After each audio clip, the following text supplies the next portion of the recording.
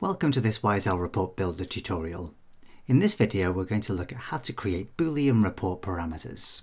So the whole video is about creating true-false parameters. We'll start by looking at how we create a simple Boolean report parameter and then how to compare that parameter with the value of a column. We'll look at how you can make Boolean parameters optional by allowing null values for the parameter and then how you check for those.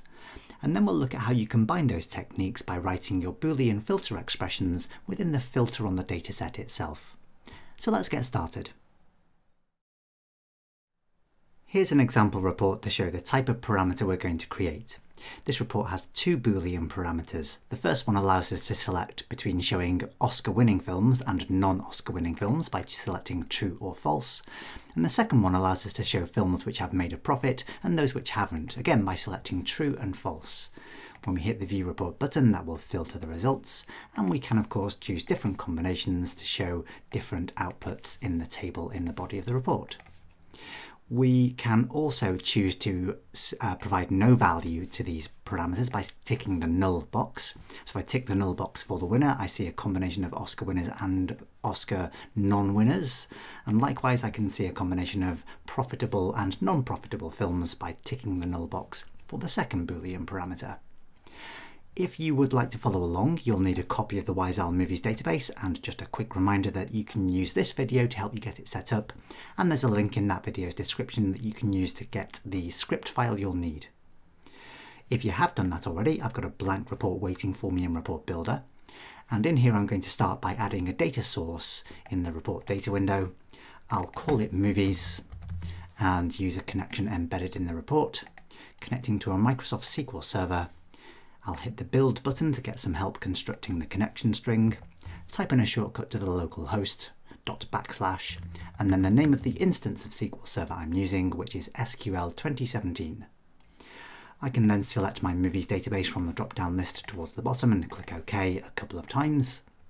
And having done that, I can create a dataset by right-clicking on my movies data source and choosing Add Dataset. I'll call this one Films, and then use the Query Designer to get some help selecting my columns. From the Tables folder, I'll expand the film table, and I'll have the title, the budget dollars, the box office dollars, and the Oscar wins. I'm also going to apply a couple of filters to the query to make sure that I see films where both the budget and the box office values have been filled in. There are quite a few missing values in these two columns in the table. So I'm going to add a filter first of all to make sure that I see films where the budget dollars is not null. And then likewise, I'm going to choose to show films where the box office dollars is not null. Having done that, I can click OK and then OK again. And there's my data set created. And finally, for the basic setup, I'd like to create a simple table to display the results. I'm going to right click and remove my page footer first, and then get rid of the placeholder title text box. Then I can right click into the body of the report, choose insert table, and then assign the four fields I've picked. So title, budget dollars, box office dollars, and then I can drag the Oscar wins to the end of the table. I will just do some very basic formatting. First of all, um, to make sure that I don't encounter this font rendering bug, which occasionally means you don't see all the values you should be seeing in the table. I can do that by selecting all the cells and then switching from the default font to any other, and then back to the default font. And then I can also do some very basic formatting for the column headers. I'd also like to make sure that the budget and box office are formatted as currency. Now if I click the dollar symbol on the toolbar having selected those two cells, that's actually going to apply currency formatting according to my regional settings, which will give it to me in Great British pounds. So having done that, I can individually select those two cells, launch the formatting dialog box, and then just make sure that I've selected dollars English United States as the currency symbol. So having done that for one, I can then select the other and do the exact same thing. And eventually I will be in the position I need to be to display the results. So dollars English United States is what I'm going for again. I'm also just going to uh, reduce the number of decimal places by highlighting both cells and decreasing the decimal by two places so I don't see any decimal values and then run the report just to check that it's running and working at this point and all that looks pretty good. Next, I'd like to create a Boolean parameter which allows the user to choose between showing Oscar-winning films and non-Oscar-winning films.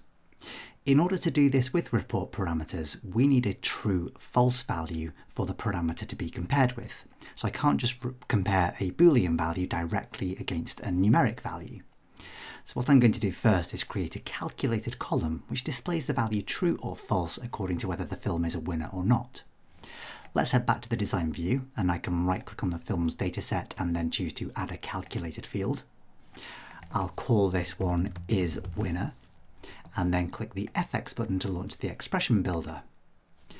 All I have to do here is write the logical test which results in the value true or false. So I'm going to go to my fields list, double click the Oscar wins field and then ask if that is greater than zero. There's only two possible responses to that statement. That's either true or it's false. So if I were to click OK and then click OK again, I can add that column into the table just to temporarily display it. And if I run the report, we'll see that I get true next to films which have won an Oscar and false next to those which haven't.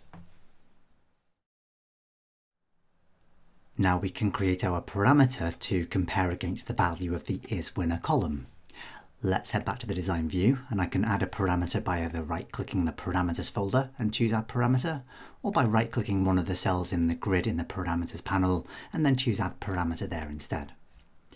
I'm going to call this one show winners and then for the prompt I say something like is film an Oscar winner or something along those lines and then set the data type from text to boolean. Having done that I can click OK and we'll see the parameter appears already with the values true and false available. Having created it, I then need to reference that in a filter. So I'm going to right click on my film's dataset and choose dataset properties, head to the filters page, click add, and then I'm simply going to check if the value of the is winner column, which returns a boolean value, so I need to select the correct data type, and then choose to ask if that is equal to the value of the parameter I've just created. So clicking the FX button to launch the expression builder, I can then head to the parameters list and double click the only parameter I've created so far. Once I've done that, I can click OK and then OK again. And then when I run the report, if I select true, it will show me all the films where the is winner column holds the value true. And if I click false, all the films where the is winner column holds the value false. Next, I'd like to make this parameter optional by allowing a null value. So I'm going to head back to the design view, double click the parameter either in the folder or in the parameters grid, and on the properties dialog box, tick the box to allow a null value.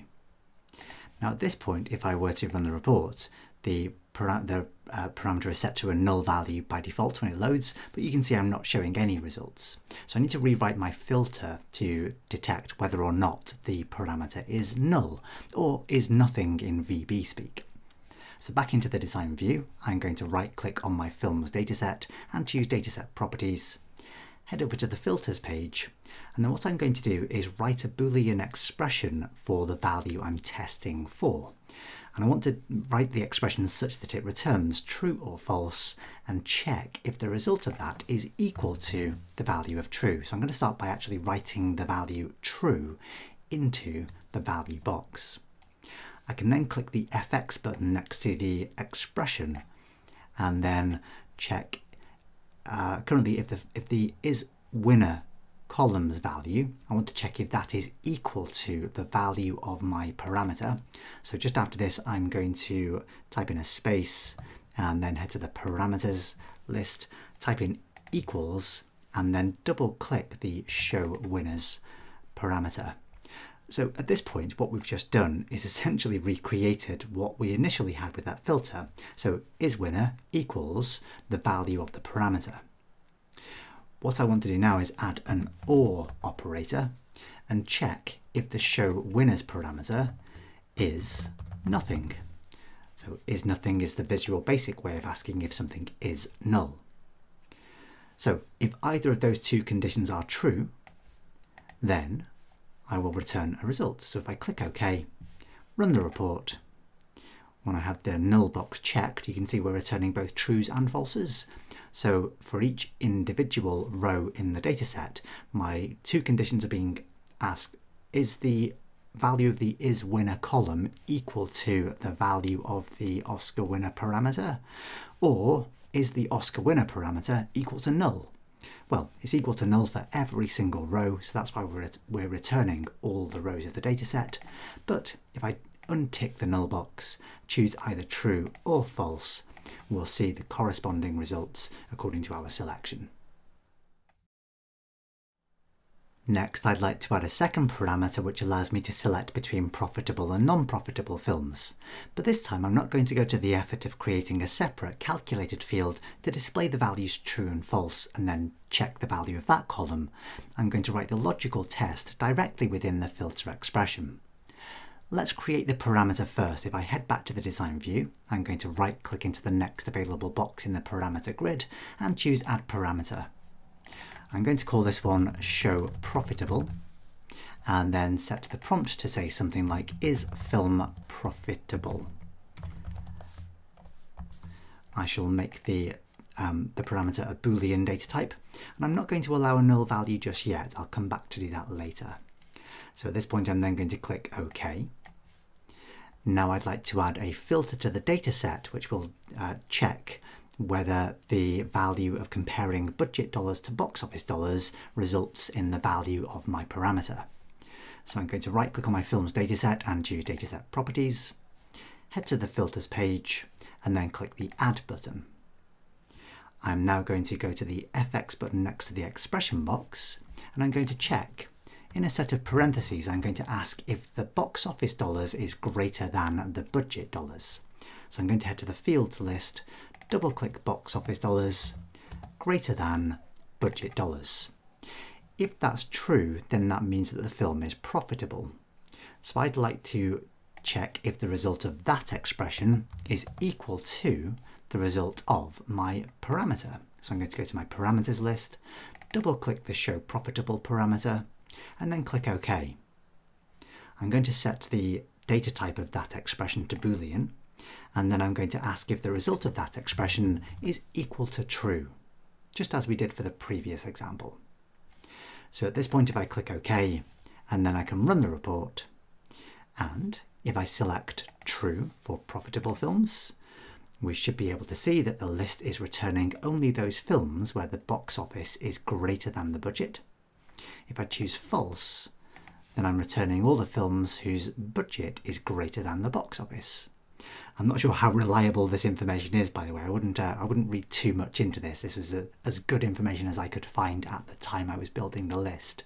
So I wouldn't read too much into it if it's not entirely accurate. So there we go. Uh, we've got the basic parameter working at this point. To make this parameter optional, I can do the same thing I did for the previous parameter. Back to the design view, we can view the properties of the profitable parameter choose to allow null value, and then click OK. And then I can go back to my films dataset, choose dataset properties, and then on the filters page, select the FX button next to the expression for that, uh, that filter that we added earlier. So I want to return a result in my dataset if either this condition is true or if the value of the show profitable parameter is nothing. So again, the same as checking if it's null. Having done that, I can click OK and then OK again. While I'm here, there's no real need to display the is winner column any longer, so I'm going to take the opportunity to right click and delete that column. And then we should see that when we run the report, when we have both boxes checked, we're seeing a combination of Oscar winners and non-Oscar winners, and profitable and non-profitable films but we can now select any combination of these parameters that we like. So we're now showing non-profitable films that are either winners or losers. And then I can select only the Oscar winning non-profitable films and any other combination that I like. So there we go. There's some basic Boolean parameters that we can make optional. Hope you found that one useful. Thanks for watching. See you next time.